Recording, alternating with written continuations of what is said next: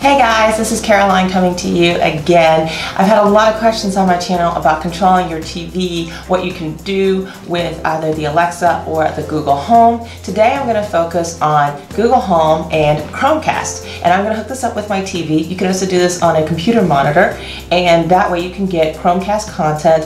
Uh, you can control it with your Google Home into your TV. We're going to do a full setup start to finish right now. And here is the Chromecast box and we're gonna just slide out the other box and here's the opening. So here's the Chromecast. Right here you pull it up and you've got a little getting started guide and you've got a power cable as well and I think that's about it for what's in the box. So we've done the unboxing. Now we're gonna hook this up to our TV. Guys, I just want to point out something here real quick. This is the Chromecast and it's plugged into my HDMI cable right here. It does require power. It does come with a power cord right here. So you can use the USB if your TV has a nice little USB plug right here and then just plug it into the USB or you can use the power adapter that came with it and then plug this into an, an outlet here. For the purposes of setting up my Chromecast today, I'm going to use a screen record on my phone and I'm using this monitor just because it's a little bit easier to see on the monitor versus my TV. And uh, I've shown you the hookup on my TV. Uh, so let's get started with this. I, so what it tells me to do is go to chromecast.com forward slash setup and I'm going to start the screen record on my phone here and you can see it says Google Chromecast. Let's get set up. Tap the button below to download the Google Home app. All right, I think I already have the Google Home app. Uh, sure enough, I already have the Google Home app. I'm going to hit open.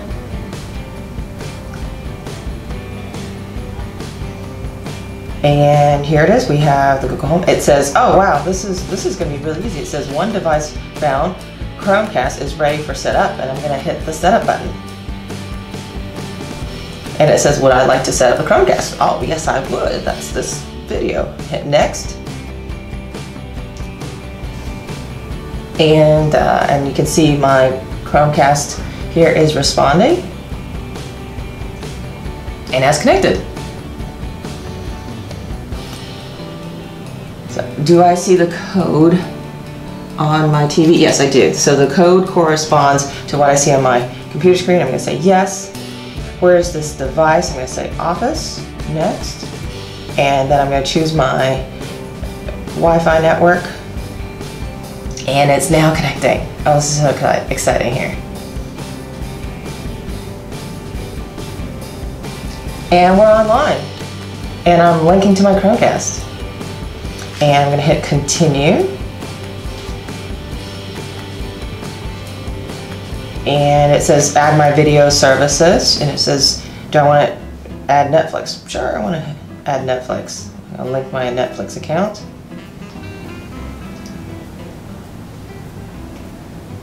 And I need to sign in to Netflix.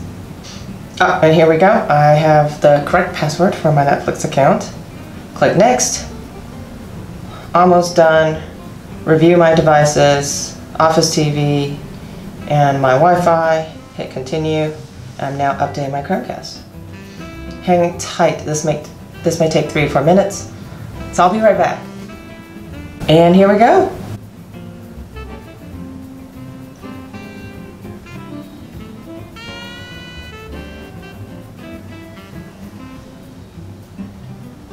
And my Office TV is now ready. I'm going to click continue.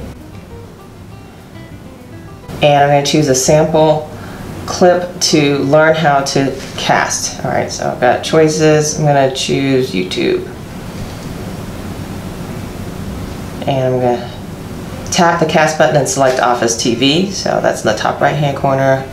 Select Office TV.